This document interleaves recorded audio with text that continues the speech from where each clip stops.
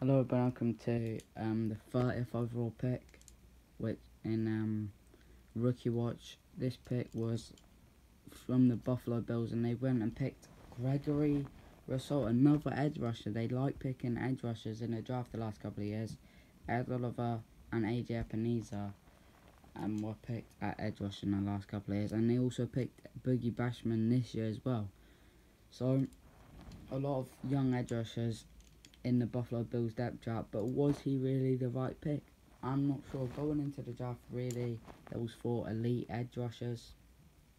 Um, Jaelan Phillips, Azeez Ojulari, and Kwity Paye, and obviously Gregory Rousseau. And I think this was just a case of picking the best player on the board because he was the best player on the board at 30. Him, him falling to 30 was a surprise to most people, but I think there could have been other people. Javonte Williams at running back, he was and he ended up being picked at 35th overall.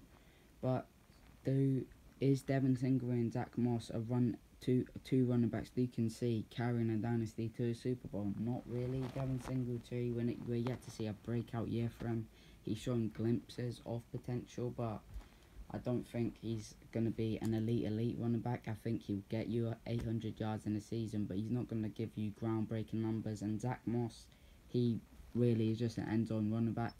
So, running back for this Bills team to add to the Josh Allen, the Stefon Diggs, and Cole Beasley would really, I feel like, give them something else. Because if you shut down Stefon Diggs in this Bills offense, it's pretty um. They're not really that much of a they're they're still a force, but they're not as they're not as threatening as they were. So a player like Javonte Williams, it wouldn't be a crazy pick to go out and get him. But Gregory, so it's not an awful pick.